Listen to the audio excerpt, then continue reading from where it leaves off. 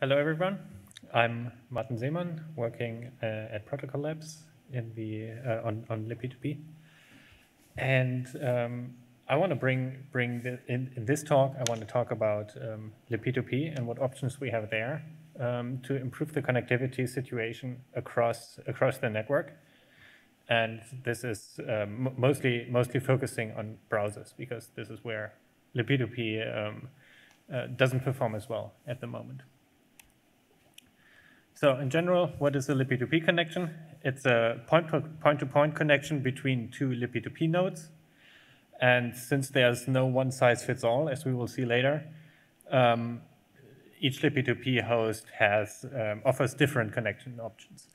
Um, they are encoded in multi-addresses. You can see there's a multi-address for a TCP listener on port uh, 10,000 and for a QUIC listener on port uh, 20,000. 20, uh, in general, the P2P connections are encrypted. We run a security handshake, and we have multiple options there. Um, we, we use uh, noise and uh, TLS 1.3. Um, that, bring, that gives us, well, first of all, an encrypted connection and uh, knowledge of the remote peer's ID. Um, after a connection is encrypted, uh, after a TCP connection is encrypted, uh, we apply a stream multiplexer, something like Yamux, MPlex, or hopefully soon something, something better than that. Uh, for QUIC, we don't need to do, do all of this because QUIC connections are um, encrypted and, and uh, stream multiplexed on the transport level. So this, uh, this table shows, um, shows the connection options that we have. So I've been talking about uh, TCP and QUIC, and these are only available in, um, in full nodes. Let's call them full nodes, um, namely in Go libp2p and in Rust libp2p. QUIC is still a work in progress in, in Rust libp2p, but we should, we should get there pretty soon. Uh, in the browser, um, you can't just open a TCP or a QUIC connection. Um, why is that?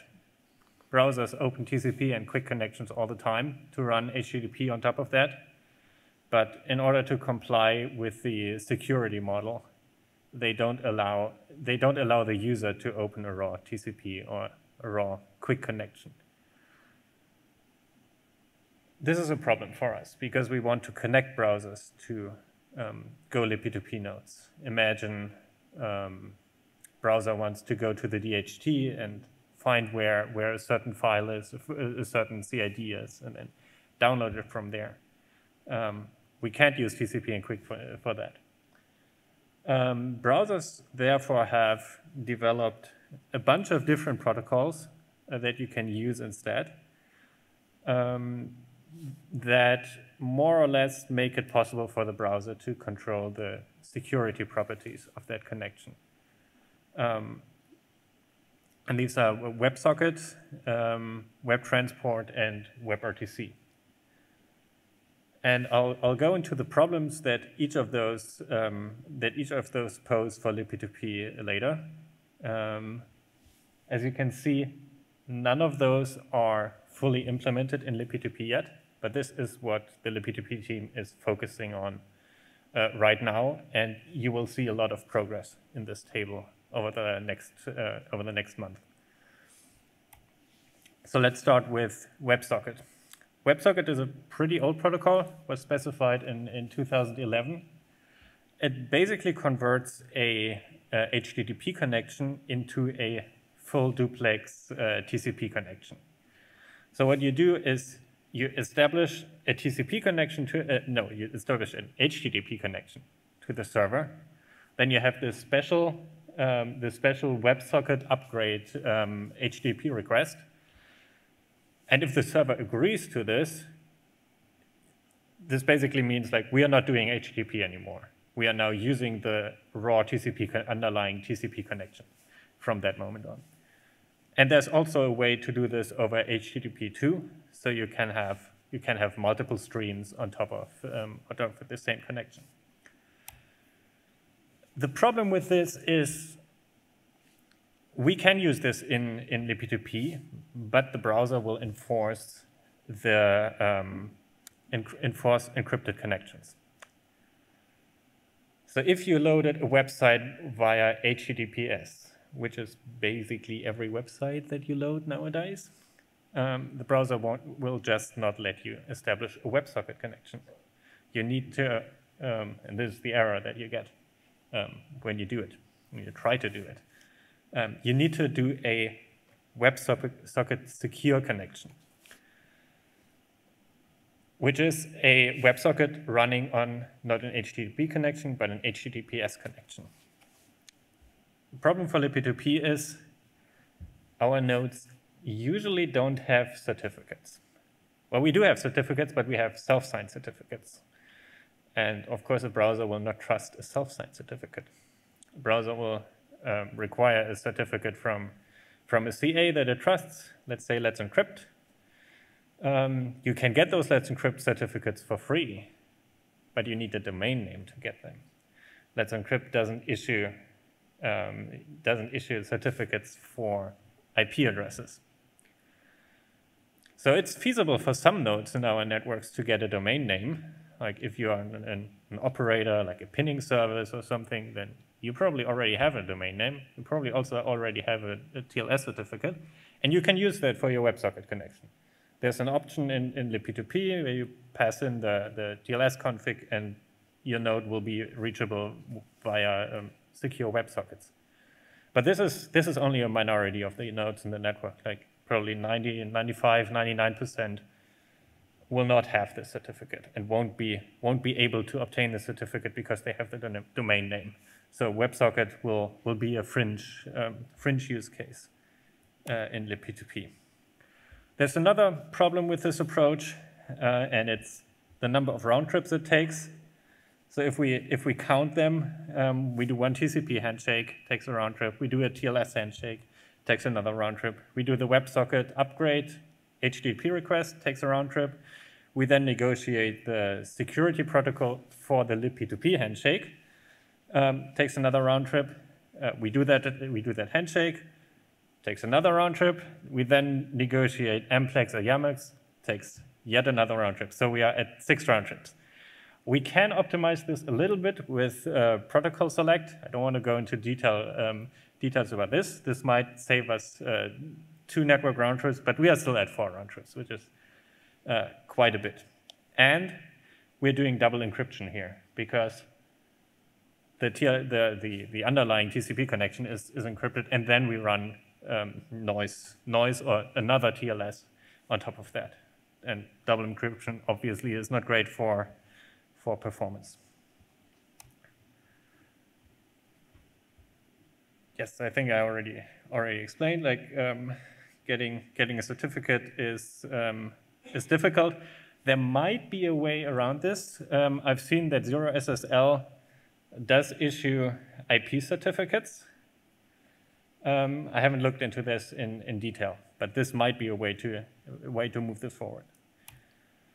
So let's look at web transport. Um, web transport is a new protocol um, there's not even an RFC yet. It's at the it's under development at the IETF. There's a there's a web transport working group. Um, it is you can like conceptually you can think of it as WebSocket but done over QUIC. So you get a lot of the benefits of of QUIC um, right out of the box. Yes, the stream multiplexing. Um, you have a very fast handshake. You have QUIC's advanced loss recovery and and congestion control. Um, so if, if you have the choice between WebSocket and Web Transport, you probably want to use Web Transport. Like when you have the choice between TCP and QUIC, you probably want to use QUIC. It also works by sending a kind of upgrade request. Um, it looks a little bit different because this is HTTP 3 and not um, HTTP 1.1, but conceptually it's the same thing. It does, however, have the same, same security requirements from the browser side. The browser also wants to see a certificate that it can trust. At least that's what we thought till January this year, uh, which, which is why we thought like, okay, this will be like the same fringe use case that we have for WebSocket, not very interesting for the P2P. But then the W3C um, changed the standard. And they said, we, we, we want to, of course, we want to support normal TLS certificates, but we also want to support like really short-lived um, virtual machine deployments where the node doesn't go to Let's Encrypt and gets a certificate. So what you can do now is you can tell the browser, connect to the server. If the server gives you a CA signed certificate, fine, just validate that one. But you can also tell the browser if the certificate has the following hash, and that's a, a SHA-256 hash, then just regard it as a valid certificate as well. And this is exactly what we need for libp2p, right? We have these multi-addresses that we can encode stuff into. So now we can have an, a, a, web transport address that doesn't only say like this is this IP address and this port, but we can also say like this node has, a, has the following hash. And here we, we can specify two hashes. Um, well, actually, you can, in the multi-address, you can specify as many hashes as you want. Um, because Web Transport does pose some, um, some restrictions on the certificate um, that you can use. As I said earlier, this is intended for short-lived um, for short-lived VMs. So one of the things that the browser will do when it gets the certificate, it will not only verify the, the hash of the certificate, it will also verify that it's not RSA. Okay, fine, we can, we can do that. Um, but it will also say like the certificate cannot be long, uh, valid for longer than 14 days. Which means if we want to build this into libp2p, and we have nodes that run a lot longer than just 14 days, we will need to rotate the certificate um, while the node is running to keep us um, accessible via web transport. So the idea is to, to generate one certificate valid for the first uh, 14 days, and another certificate for the next 14 days, and then after 14 days, you switch over the certificate and generate a new one. And, and as long as the browser got, the, the address, got your address less than 14 days ago, it will be able to connect to you. Uh, no, actually, less than, well, between 14 and 28 days. So this is all, um, this is stuff that we are working on right now. We haven't finalized the spec yet, so if you want to get involved, um, that's the specification. Uh, please review. let's do the same, the same thing we did for, web, uh, for WebSocket and count the round trips. So we have one, round trip for the, the QUIC handshake. Then we have another round trip for the web transport request. And then we have one round trip for the noise handshake that we run on top of that web transport stream. We need to do this, this noise handshake because we need to make, we need to, to learn about the peer's peer ID. And in this noise handshake, this is the first time we can actually control the certificate that, um, that, that, we are, well, I should say the other way around. Like we can control the certificate um, that's used for the QUIC handshake, but we can on, we only have full control over the noise handshake, and this is the first place where we can where the client can authenticate itself um, um, towards the server.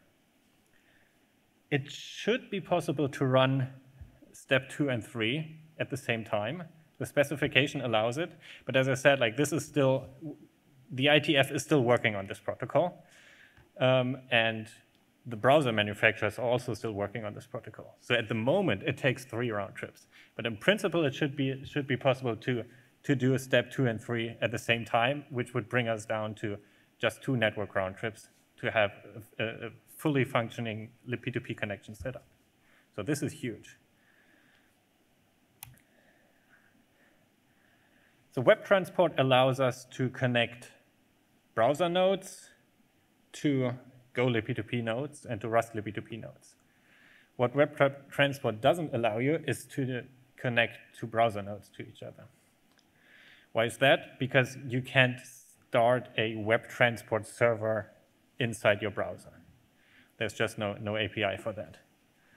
So for the browser-to-browser -browser use case, there's just one protocol that you can use, which is WebRTC. And you all know WebRTC because it's used by, uh, by tools like, like Zoom or Google, Google Meet or Google Video Hangout, however it's called today. Um, it's a uh, it's it's been defined um, since 2014. There are actually quite a lot of RFCs that define this protocol, and WebRTC combines a lot of other protocols to to make it work. It's mainly built for audio and video conferencing, but there's also this thing called RTC data channels, which is, just as the name says, um, a uh, or ordered byte stream abstraction um, using WebRTC. And it comes with multiple streams, uh, with, with, with uh, stream multiplexing uh, at the transport layer. So that's pretty nice. How do you establish a, a WebRTC connection? In, in WebRTC, there's this thing called the SDP, um, stands for the Session Description Protocol.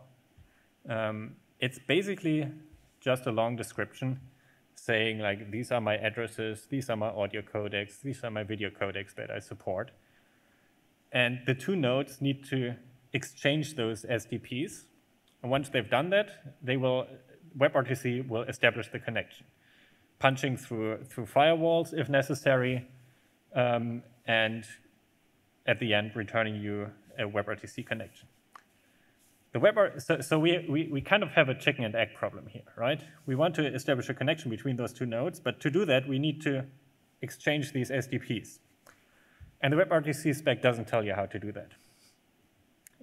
It's your own problem. Deal with it. You can use WhatsApp. You can use SneakerNet, anything. Um, so what, do, what, what will we do in, in libp2p? for our, for our hole punching protocol, we've rolled out something called uh, limited relays across the network. Um, a limited relay is, as the name says, it's, it's a relay that is willing to transfer a limited amount of data for a limited amount of time. It's very cheap to run a, a limited relay. So if you start a, a libp2p node, and that libp2p node is, detects that it's in a public position, not behind a firewall, it will start that relay service. And other nodes can use it then.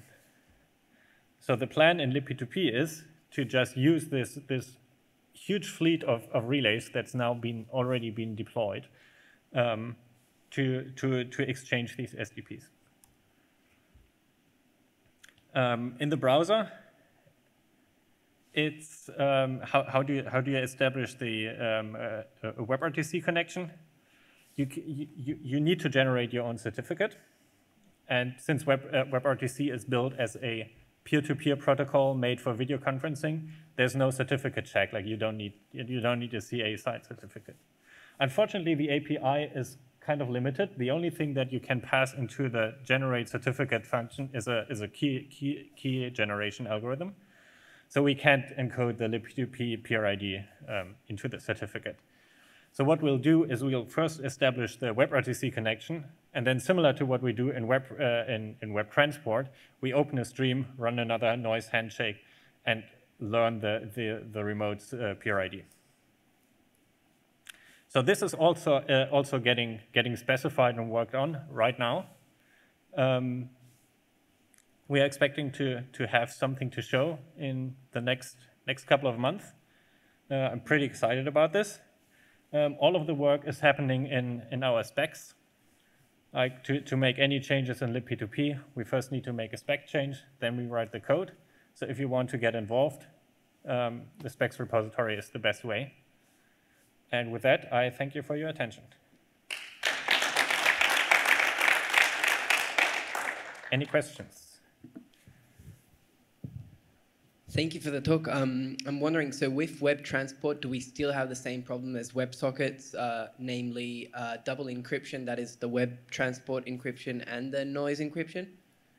We don't. Because um, we can use that certificate to make sure that there's, no, there's, we can use the certificate hash to make sure that there's no man in the middle in the connection.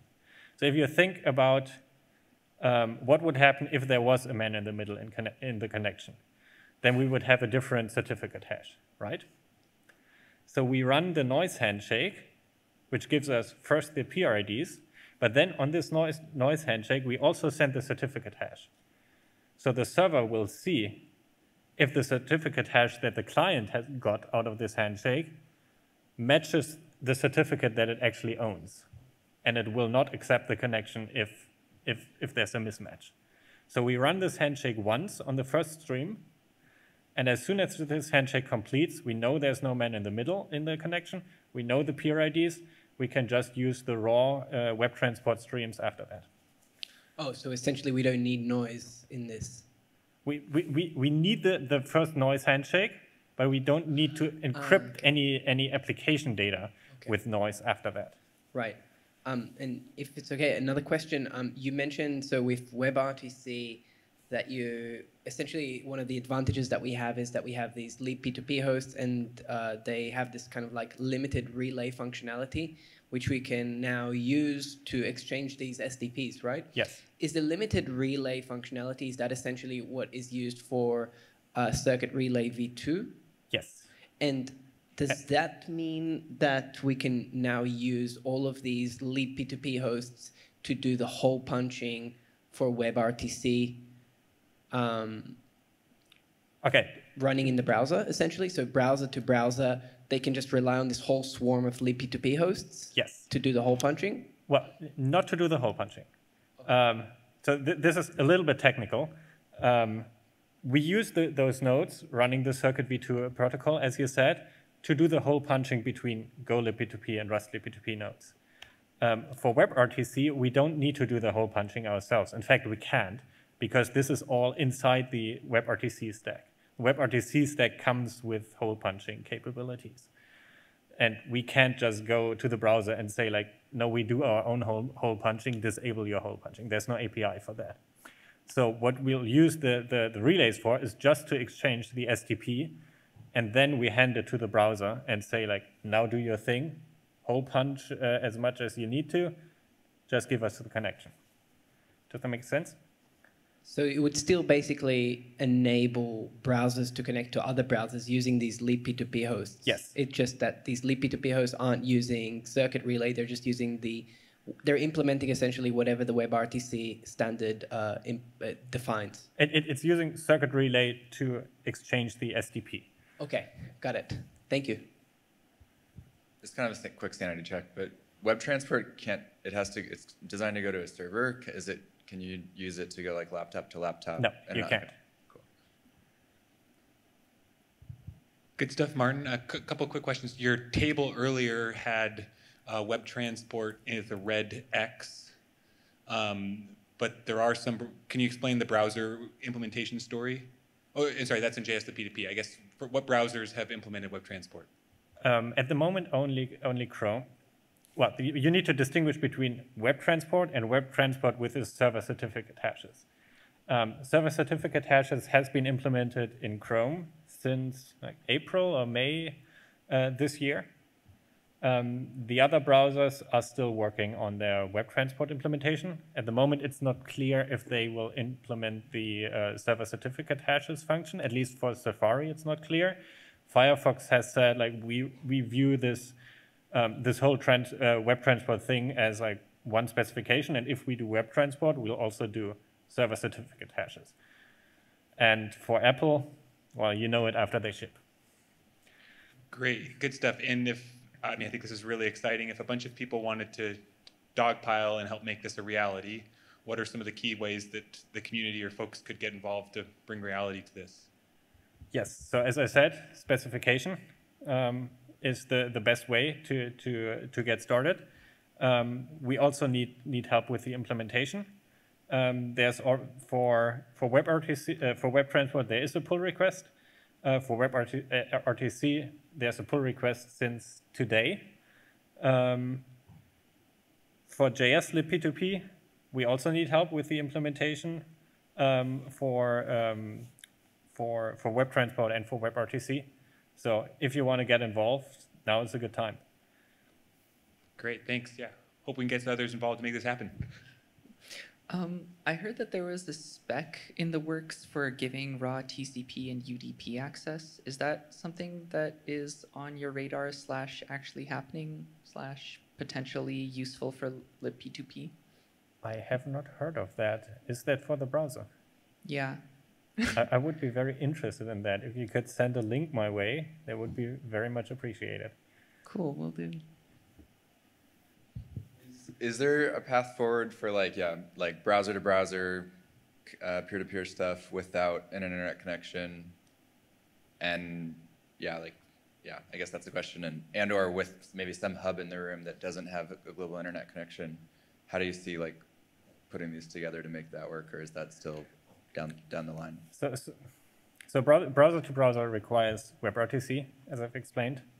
Um, I'm not sure if the if the WebRTC protocol allows you to to use something like MDNS. Like this is what what we're using for um, Go libp2p and Rust libp2p nodes. Um, they discover each other via MDNS and then just dial each other's connection. Um, I'm not sure if the WebRTC specification has something for that use case. It And would be super cool. That's the one where you said you just have to exchange SDPs somehow? Yeah. And so, as long as like I don't know, if I just scanned a QR, there's a QR code on the wall that we Yeah. both scanned, could that then work with WebRTC? Yeah, the, the, so- so the, the question that, that you need to need to answer is like, how do you exchange that SDP? Um, Because you, you present your, your uh, SDP to one peer and the, the other peer presents his own and, and they negotiate what's common and how they can set up the connection. So, so And do those need to rotate pretty well? Or could I have like a business card with my preferred SDP that I don't have to reprint all? I don't know. You're gonna get one at home and one when so, so, so Um, the, the, the SDP, if, if the, the question was if you can have a, a business card with your with your SDP like encoded in a QR code or so.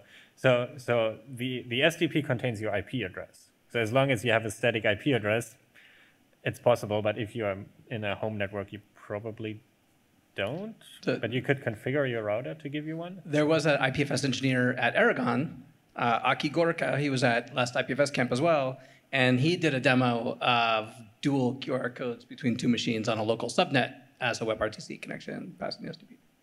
Cool. I'll find the link and drop it in the channel. All right. Thanks, Marten. Thank you.